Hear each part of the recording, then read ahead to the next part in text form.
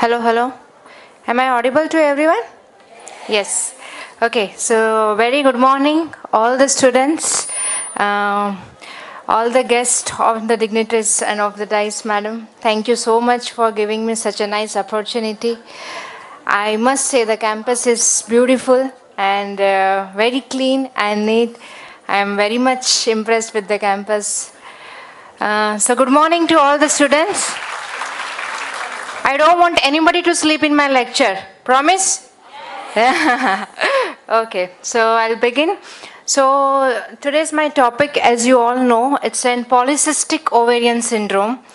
Uh, I think everybody is well known regarding this syndrome because it's been uh, it's very common these days. It's a very serious condition. It's mostly commonly seen in uh, the adolescent age group in the girls of all your age it's become very serious. Why? The only reason is uh, lifestyle changes what we are living it. Uh, so the main reason for the polycystic ovarian syndrome is nothing but the lifestyle changes.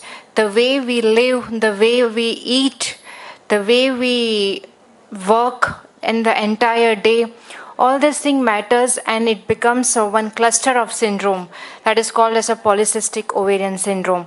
Later on in the, as soon as the slides begins i will just explain you what is the exact definition of the polycystic ovarian syndrome. In my opd i see every fifth or sixth girl coming with the polycystic ovarian syndrome. So out of 25 to 30 patients there are 5 to 10 patients who are suffering from pcos so it has become a very very serious condition. And why i chose this topic is to let you to get aware about this so that you can still change your lifestyle and uh, think about it become strict regarding what you want to eat how you want to live uh, how much walking meditation avoiding junk food matters.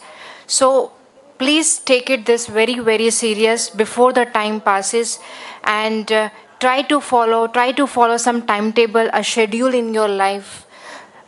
Let your mothers don't shout on you. You yourself become strict and uh, uh, follow some diet pattern follow some living pattern by yourself. Okay? So let's begin with the slide. Uh,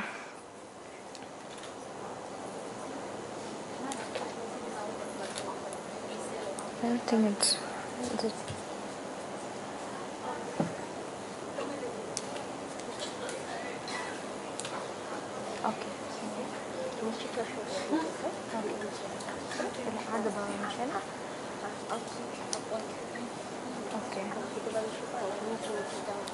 to change. Okay. Okay. Okay. So basically, what is PCOS? What happens inside your body in a condition called as PCOS? So you everybody knows that we have two ovaries, one uterus and two fallopian tubes, right? So what happens in a PCOS? Now these two ovaries becomes very bulky. Bulky in the sense they become very huge in the size compared to the normal size.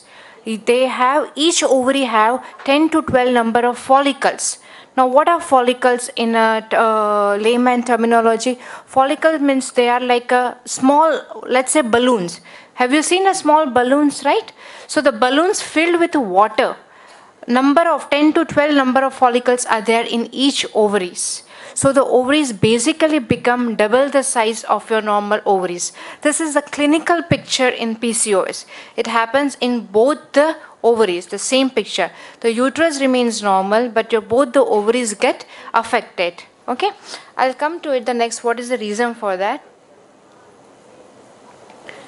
Okay, so uh, I would say what now you must be worried. What are the symptoms regarding the PCOS? Like what happens?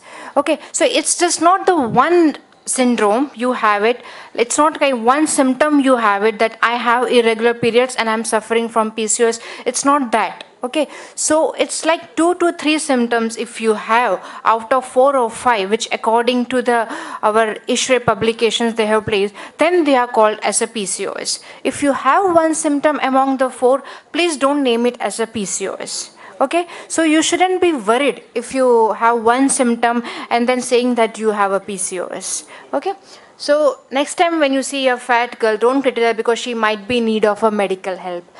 Please, this happens. I've seen it happens in the colleges. It happens in the schools.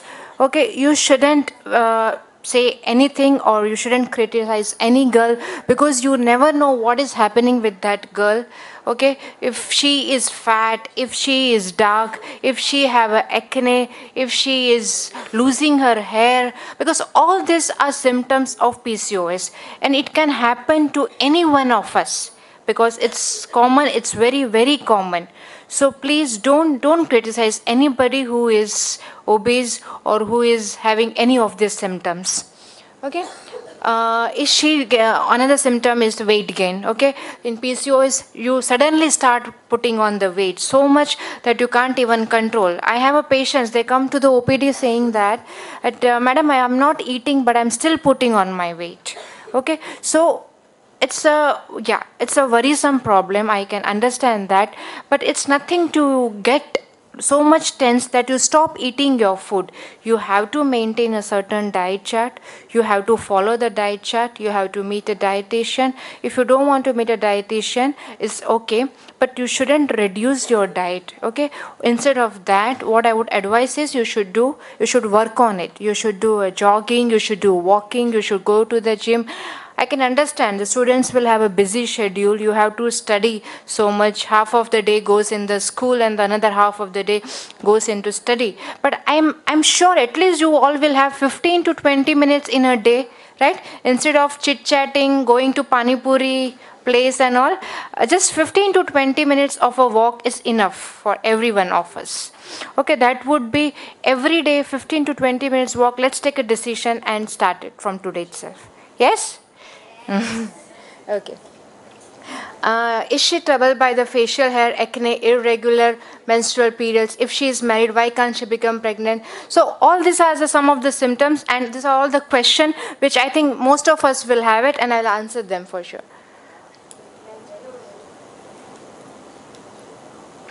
Okay, so I'll be the covering under this following topics. It's a definition, incidence, causes, pathophysiology, what are the symptoms, long-term risk, treatment and uh, then conclusion.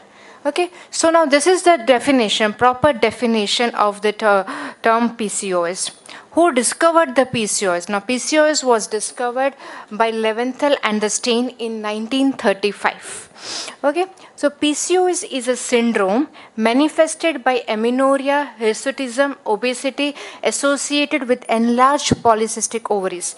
I'll explain each of them now, what is amenorrhea? Let's say not amenorrhea, but I could, I could have put it up as an irregular periods. Amenorrhea is basically no periods. Okay, but not necessarily that you will not have periods at all. You might have a periods, but it must be irregular. It wouldn't be a regular period, which the normal cycle is uh, uh, monthly, monthly, right? Now let me explain you what are the normal cycles because most of the girls don't know what is a normal pattern. They just get worried and they go uh, come to the clinic saying that I don't have a normal period. So the normal cycle is from 25 to 28 days okay so anywhere between 25 to 28 days is normal cycle. Okay each period lasting for 2 to 7 days. I'm repeating it 2 to 7 days. Anything less than 2 days it's scanty. Anything more than 7 days is excessive period. Okay so 2 to 7 days 25 to 28 days cycle this is a normal pattern of the cycle. Anything less than this anything more than this is abnormal. So the girls if she are not having periods regularly means the days are like 40 45 days of cycle then they should be worried and i think then they should go to the clinic. But that is okay okay? So irregular period is one of the PC, uh, one of the symptom for the pcos then uh, comes the hirsutism. What is hirsutism? Hirsutism means there is an excessive hair growth okay abnormal hair growth. Let's say on the faces. Okay so you will have it on the chin. You might have it on the cheeks. And these are the excessive kind of hair growth on the facial uh, on the face. So it could be one of the symptom for the PCOS. Okay. Another one is the obesity. As I ex already explained, obesity means excessive weight gain. Okay. So they put on a weight gain. Suddenly there's sudden weight gain, uh, which you can't. It's over two to three months. They might put on some five to six kgs. Uh, even if they are not eating, you will start putting on so much of weight. Okay, I will tell you the reason why it happens in the PCOS later in the other slides. Okay, so what it is, it's a heterogeneous disorder which is characterized by excessive androgen production by the ovaries that interferes with the reproductive endocrine and the metabolic function. So in PCOS there is an there is something called as androgen. Androgen is there in all of us. It's kind of a hormone. So instead of normal, it has become excessive the ovaries have started, the pituitary gland has started producing more of androgen. So there happens excessive hair growth on the face, as I already explained, on the cheeks, on the chin, and on the uh, forehead. So this all uh, hair which are not to be seen normally, it happens. And so this is the reason for the PCOS, excessive androgen production, one of the reason for PCOS. Okay, so I'll explain as this amenorrhea, obesity, and hirsutism, right?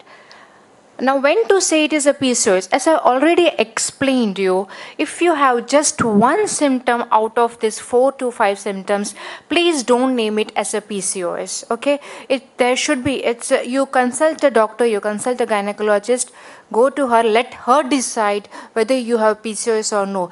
Just by reading Google or just by talking to your friends or neighbors or anybody, please don't tell it that just because she have a PCOS, I might have a PCOS because I have irregular periods. It is not not necessary at all. You go to a doctor, you show them and let them decide what is it is. If you have PCOS, they will treat you accordingly. And all PCOS doesn't require treatment okay? It is not something you have to worry about right? So if two of the three following criteria are present as I told polycystic ovaries in the name itself.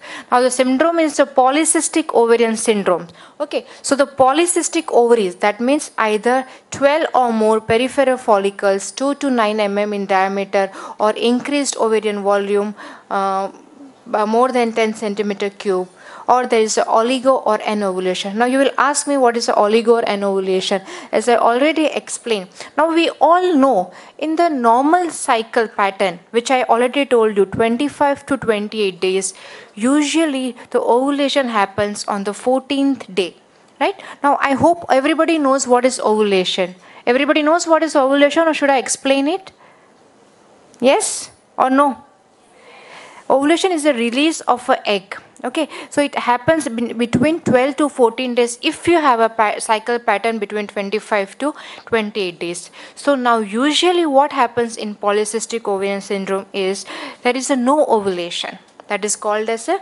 anovulation or there is an oligoamenorrhea that means your periods are irregular. So this happens in the pcos right? And there are some signs of hyperandrogenism as i told excessive hair growth on the face okay? Now this is what we call it in our terminology as a rotterdam diagnostic criteria. There is a polycystic ovaries on ultrasound picture there is an anovulation there is an excessive androgen okay? So why as i told you why you have to worry about it? What is the incidence as i already told if there I have 25 patients in the OPD, out of 25 there are 10 to 12 girls who are having a PCOS and that is the reason why we have to discuss about this topic very very seriously. Okay, so the most common endocrine disorder affecting 5 to 10% of women of reproductive age 15 to 45 years between, right? Incidence is increasing fast with the change in the lifestyle and stress disorders okay? Most frequent 20% causes infertility in the woman. What is infertility? Everybody knows what is infertility? Infertility is the woman who is unable to conceive over a period of time okay? If she is married let's say for uh, uh, 2 years 3 years not using contraceptive for over a period of one year and she is not able to conceive we name it as an infertility okay she is infertile. So then she has to do it for the more that's all. So there are some problems in pcos some 20 to 30 percent of pcos women are having infertility issues. They are not able to conceive naturally after their marriage. Okay this happens because of anovulation. Because there is no ovulation happening in them so the result is infertility okay? So it's all associated with each other. Okay? There is excessive androgen production. So you are putting on so much of weight. As you are putting on so much there's excessive fat in your body. Excessive fat in your body lends to the disturbance in the ovarian function. Disturbance in the ovarian function leads to the anovulation. Means there is no ovulation happening. If the egg is not releasing there are and there are no chances of you becoming pregnant so the infertility rate is 20 to 30 percent in uh, pcos women okay it is strongly associated with insulin resistance that creates risk for diabetes, cardiovascular disorders, and hypertension. Now, please don't think that it only affects ovary. Okay, it's not that the ovary only gets affected. If you have PCOS over a period of time, if you don't control it, you might have diabetes, you know, because they all have insulin resistance. Over a period of time, you will develop a diabetes okay you will have some cardiovascular problems you will have some heart problems later on in the life when you grow okay you might have a hypertension as well so these are all the risk factors which will come slowly if you don't start thinking it when you are in a young age okay? What are the causes? Now as i already told no clearly known yet it, there would be a change in the lifestyle diet and stress there are some genetic factors they say in our books. It is given that there is some CYP21 gene mutation okay? It runs in the families. It is a hereditary condition okay? So if your mother or if your sister or somebody is having it PCOS that means that I'm not saying that every one of you will have it PCOS but yeah it is a hereditary. As uh, how the hypertension or how the diabetes goes hereditary even PCOS goes hereditary as well okay so ob uh, obesity causing insulin resistance and the hyperinsulinemia.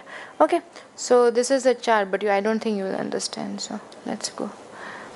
Now what is the pathophysiology for pcos okay. So this is a cycle but i'll just explain you in a very easy terminology. Okay. Now every one of us know that we have a pituitary gland in the brain right? So this pituitary gland release androgen hormone now, what happens in a normal individual? There is a normal release of the androgen. But what happens in the PCOS? There is an excessive androgen production from the pituitary gland. Pituitary gland releases so much of androgen okay so further what happens is as the uh, androgen increases there is an increase in the lh lh is the luteinizing hormone from the ovary as the LH is increased, the FSH is increased. So PCOS basically is nothing but is all just a hormonal disturbance.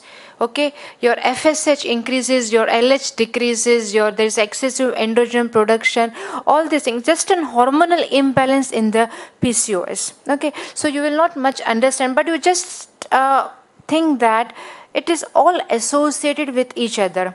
When the uh, pituitary gland increases the androgen, androgen will cause excessive androgen production, which will cause excessive hair growth, hair growth or alopecia, or you will some girls will have acanthosis nigricans, what is called as there's a blackening in the neck behind okay so that could happen because of excessive androgen production further this androgen will increase the fat production in your body. So fat production means you're becoming obese.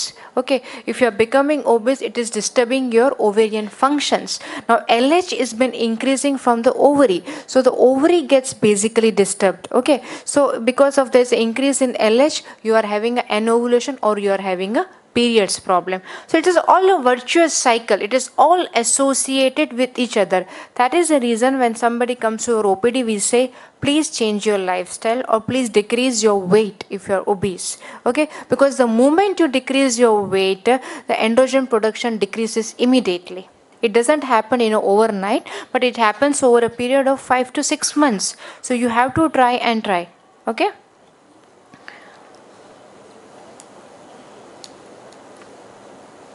Okay, so this is the pathology which I already uh, explained you.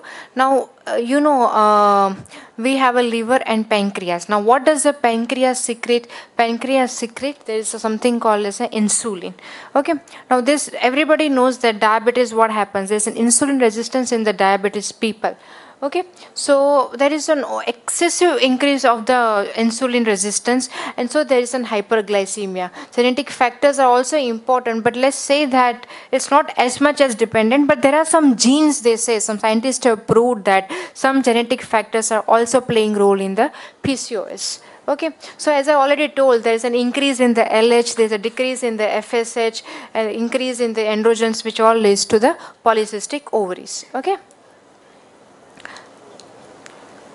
what happens actually? Okay.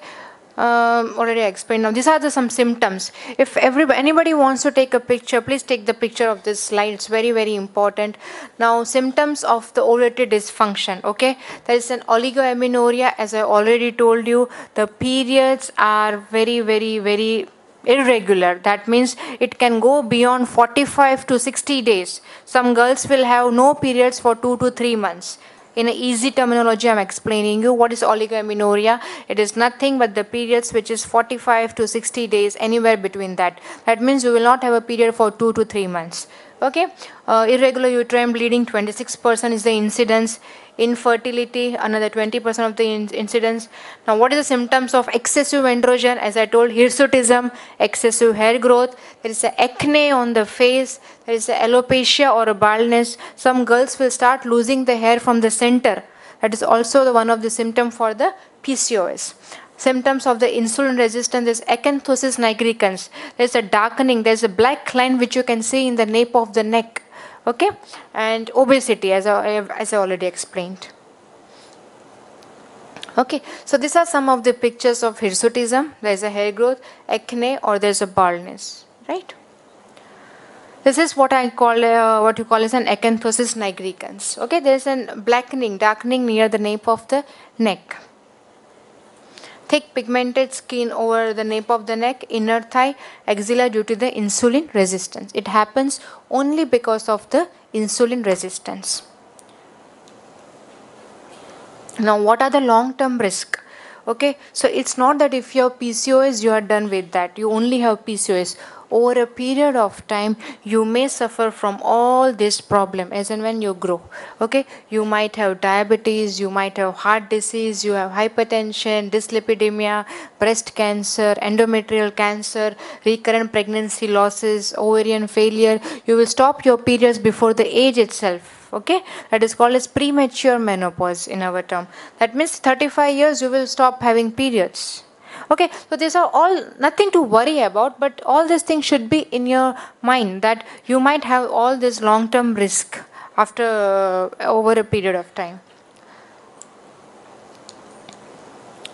okay? Now i'll just summarize it. Okay so as i told what are the reason for that? Genetics and lifestyle changes.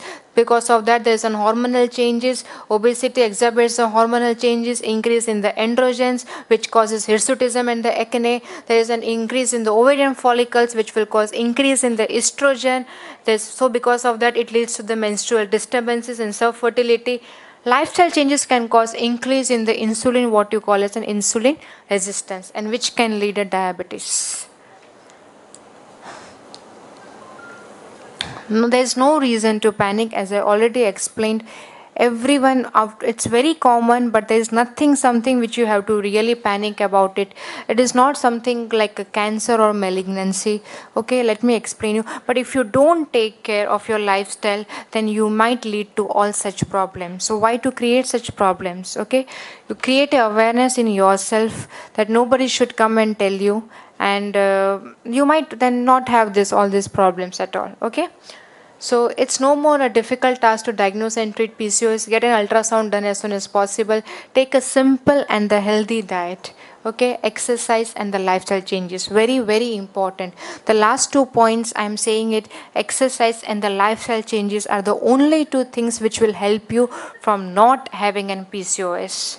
20 to 25 minutes a walk that's all what we need as that's all avoid taking junk food. I know when you're staying outside your home when you're in a hostel because i also lived in a hostel so i know how the hostel life is. But i'm not saying that you don't eat but avoid eating packet food what i'm trying to say okay? Avoid eating junk food avoid eating anything avoid cold drinks avoid all this thing you will not realize now okay? You will realize later on uh, as and when you grow that you will have such problems i'm sure okay now i'll just uh, tell you the treatment for this you don't have to you just come to me i'll tell you the treatment for that okay so pco is uh, I'm not saying that all of you require the treatment. Okay, you do exercise and lifestyle changes. Only some women who are having a very, very serious symptom. So the doctor will decide if you really need a treatment or you don't need a treatment. So there is some treatment for sure. You don't have to worry. And let me tell you one thing this PCOS, once it comes, it is there forever till you die. Okay, it doesn't go so I have a patients coming to the clinic. They say that, Madam, to rese ne PCOS, serious to nathi ne. It will not go. But it is not something which you have to worry also about. Okay, if it is there, now it is there.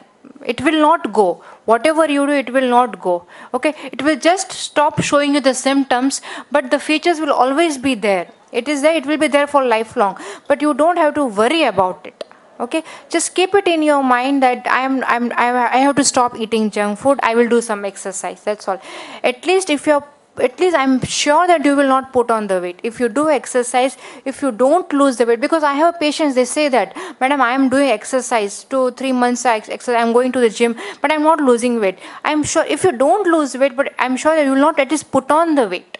Okay? So please continue doing if you're exercising please continue it. I'm 100% sure you will not gain the weight. Whatever is there it will be there but you will not gain your weight. Okay?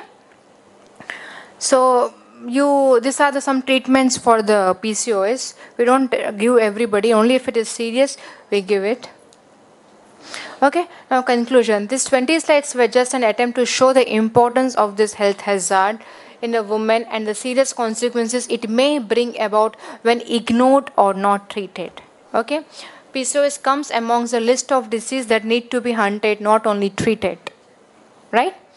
With awareness, we can easily fight this disease, which I think has already started now via this slideshow. So I hope in the days to come, everyone among us will circulate this information and hunt this disease down at the earliest.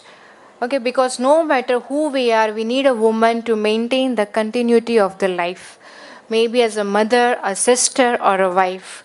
So with a little modification of the famous message nowadays let's say that pcos is there god couldn't be everywhere so he created woman right? So let us give an applause to all of us on a woman's day. We in our hand we it's god has given us the opportunity to you know we are the one who is responsible for this generation for the coming generation. You know we have been able for capable for that. So let's take first care of ourselves okay? Let's take some decision on this women's day.